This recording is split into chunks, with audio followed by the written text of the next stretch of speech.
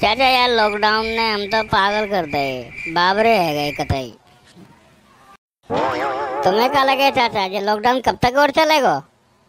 का हमारी खोपड़ी का मोदी लिखो है? हैं? मोदी लिखो है का वो तो असली मोदी ने भी कभी मोदी ना लिखो, है? तो तू काके में चावे? मोदी है हैं? मोदी हैं तो तुम क्या कहना चाहो? सबकी खोपड़ी के पास सबको नाम लिखो रे। हैं? ठीक है तो मोदी हैं। हम मोदी हैं। मैं मोदी हूँ।